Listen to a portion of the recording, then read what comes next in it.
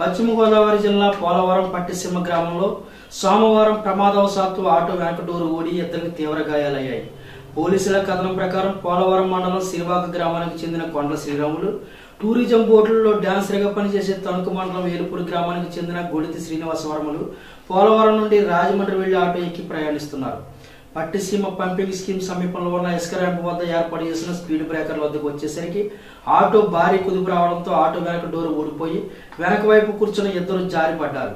తలకు బలమైన గాయం తగలడంతో స్థానికులు వారిని చికిత్స కోసం పోలవరం ప్రభుత్వ ఆసుపత్రికి తరలించగా పరిస్థితి విషమంగా ఉండడంతో పోలవరం ప్రభుత్వ ఆసుపత్రి నుంచి రాజమండ్రం ప్రభుత్వ ఆసుపత్రికి అక్కడ నుండి కాకినాడ ప్రభుత్వ ఆసుపత్రికి తరలించినట్లు పోలవరం ఎస్ఐ కె శ్రీహర్రావు తెలిపారు.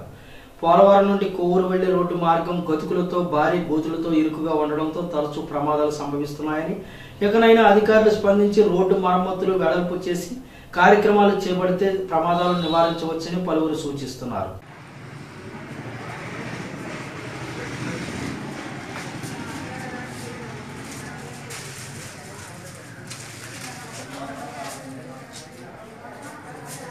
ఏం కావాలి?